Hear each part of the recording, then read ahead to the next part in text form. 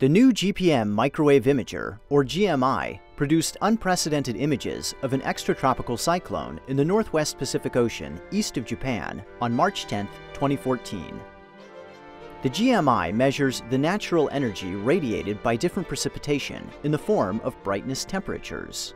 The GMI produces a critical reference standard which unifies all the member satellites of the GPM constellation. The instrument has 13 channels, four more than onboard TRMM, and this greater sensitivity allows GPM to measure a greater variety of precipitation type and intensity.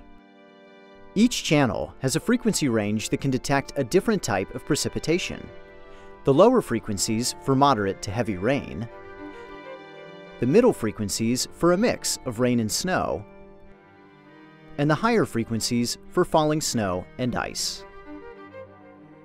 Scientific algorithms then translate the GMI's brightness temperature data into more meaningful products, such as rain rates. Because GPM's coverage extends beyond the tropics, measuring storms like these in the mid and high latitudes will improve and expand the global view of precipitation.